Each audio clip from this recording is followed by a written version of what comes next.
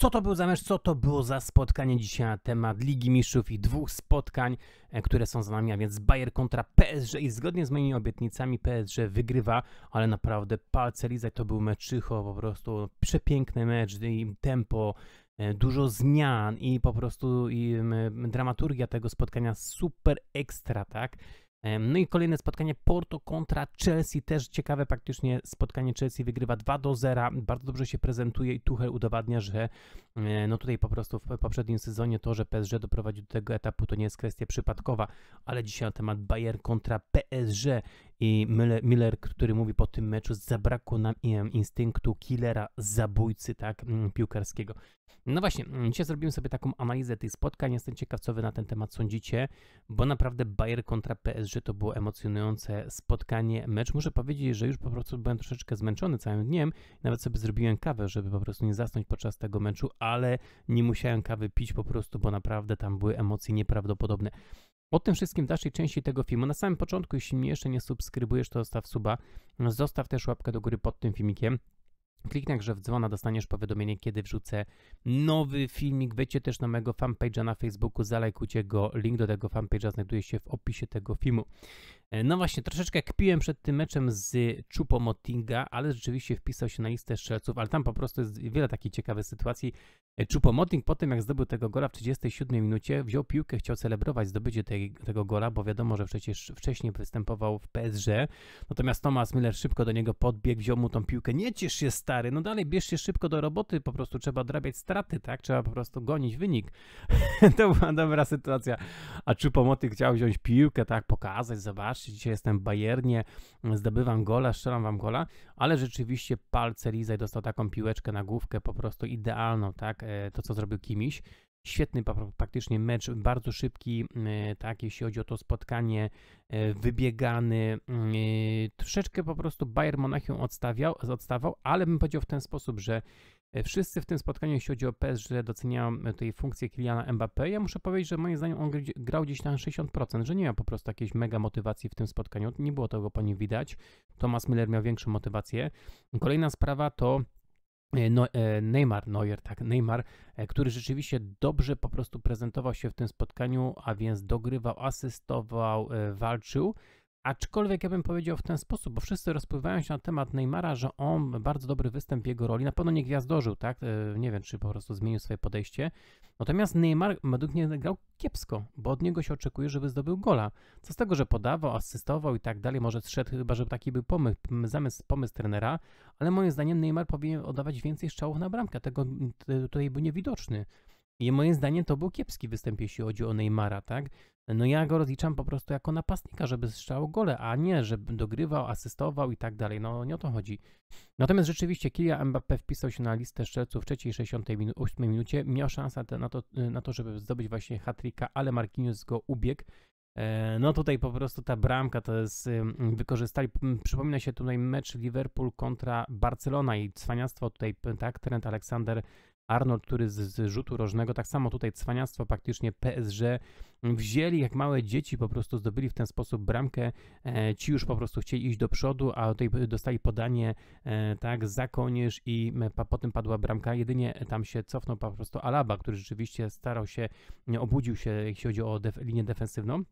Natomiast dużo to, to dla mnie po prostu jakiś dziwny niespodzianek. Po pierwsze tak, e, jeśli chodzi o Zyle, Zyle schodzi, niby ma jakąś kontuzję, nie wiem czy rzeczywiście to jest po prostu kwestia kontuzji, ale Zyle dosyć kiepski po prostu występ. Boateng, który wchodzi, moim zdaniem nie powinien wyjść na spotkaniu, bo wiadomo, że po prostu przed tym meczem było ogłoszone, że on odchodzi z Bayernu Monachium.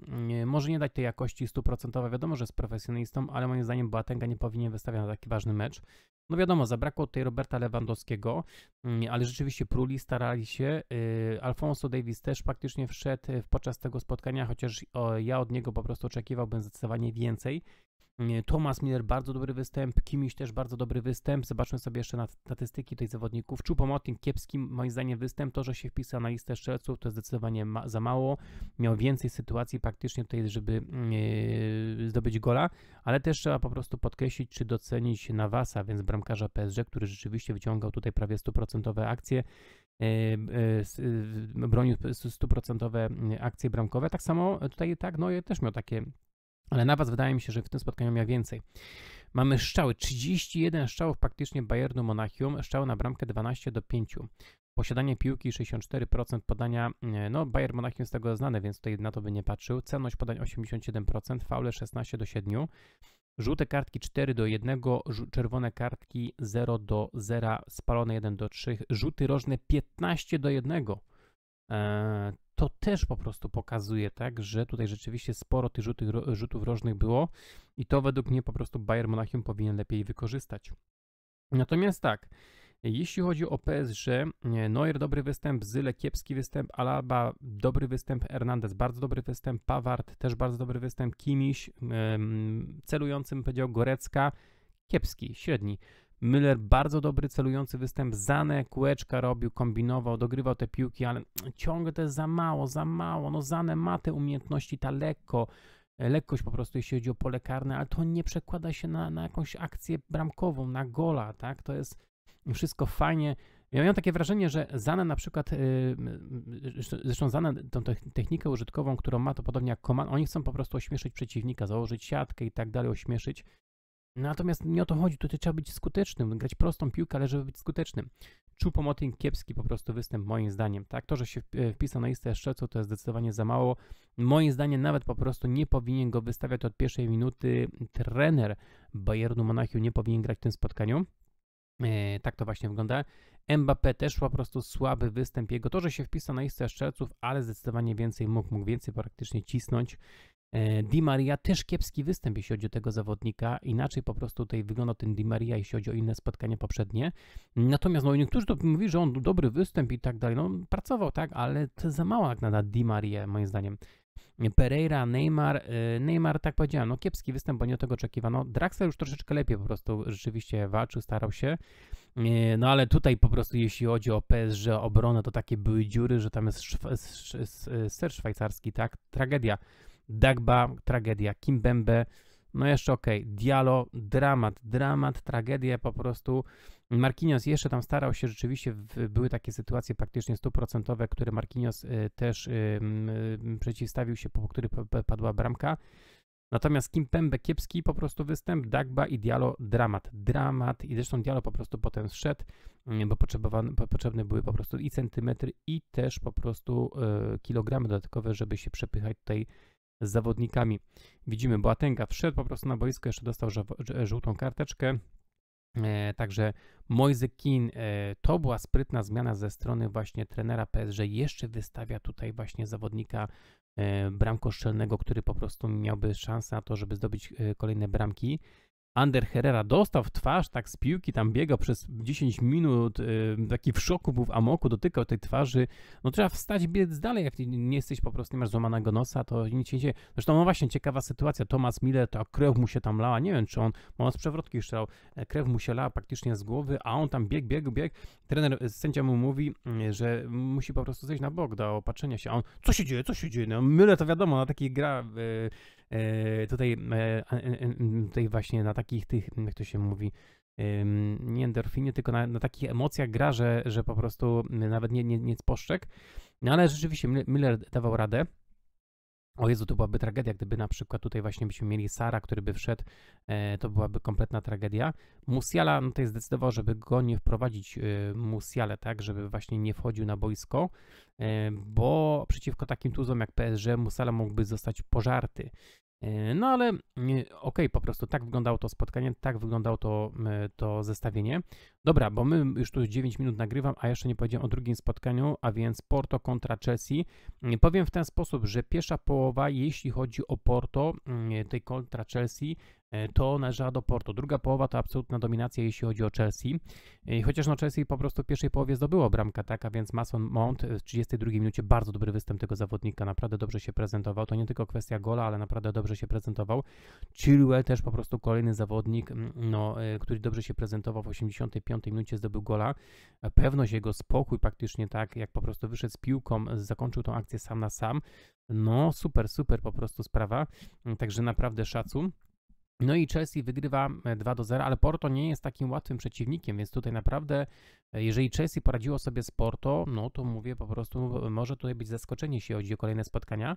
Zobaczmy sobie szczały 12 do 6, szczały na bramkę 5 do 3, posiadanie piłki 61% po stronie Chelsea, podanie 343 do 539, celność podań e, no po 80% mniej więcej, faule 11 do 17, troszeczkę brzydki, bo po prostu ten mecz sporo było tych fali, fauli, spalone 5 do 2, rzuty rożne 9 do 4.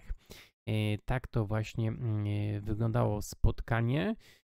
No i na pewno tutaj Tuchel po prostu zasługuje na brawa, tak, że rzeczywiście mm, dobrze po prostu prowadzi tą drużynę, jeśli chodzi o Chelsea Londyn. Widzimy tutaj po prostu zmiany. Kowacic e, schodzi. No, Kowacic akurat po prostu słabszy występ tego zawodnika. E, kogo tutaj jeszcze warto podkreślić, e, kogo po prostu nagrodzić, jeśli chodzi o grę. Thiago Silva, rzeczywiście tutaj dobra zmiana, jeśli chodzi o tego zawodnika, no doświadczony praktycznie tutaj obrońca, przecież on był obrońcą i w PSG przez wiele czasu, Także no Chelsea Londyn na pewno spore zaskoczenie. Ja mówiłem, że to nie będzie taki łatwy mecz, jeśli chodzi o Porto. Moim zdaniem to jest ciężki przeciwnik, jeśli chodzi o Chelsea. Natomiast tak to właśnie yy, wyglądało, yy, tak? Yy, zobaczmy sobie jeszcze na składy. Timo Werner, tragedia, dramat, jeśli chodzi o to spotkanie. Yy, kompletnie niewidoczny. Yy, no to jest po prostu tragedia. To, co gra Timo Werner, to nie jest po prostu pierwsze takie jego spotkanie. Kai Havertz no, troszeczkę lepiej, tak? Lepiej bym go ocenił niż, niż Timo Wernera, ale też po prostu bez rewelacji. Ja nie wiem, co z tym Timo Wernerem będzie. Jak on będzie tak się dalej prezentował, e, to on po prostu w Chelsea Londyn albo pójdzie na wypożyczenie, albo zostanie sprzedany. Tam jest po prostu jakaś blokada mentalna. No to, jest dramat. Dramat. To, co zrobi ten Timo Werner, to jest po prostu parodia, tak? E, no nie tego się oczekiwano po prostu od tego zawodnika.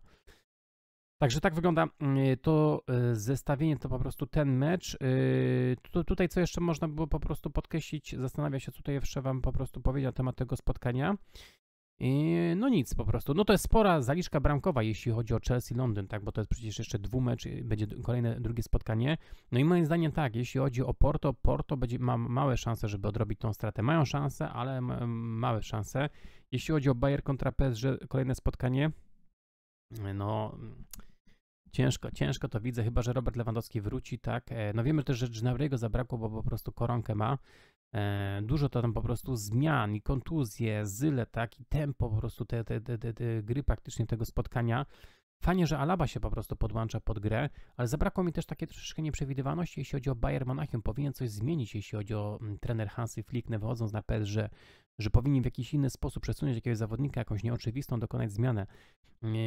Czy zmianę po prostu, czy jakiegoś zawodnika tak przesunąć, że Alaba na przykład by, powinien bardzo wysoko być przesunięty, jako nawet na, napastnik zagrać, tak?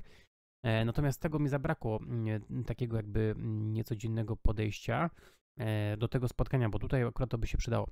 Więc tak to wygląda. To wszystko dzisiaj. Pozdrawiam, zostawcie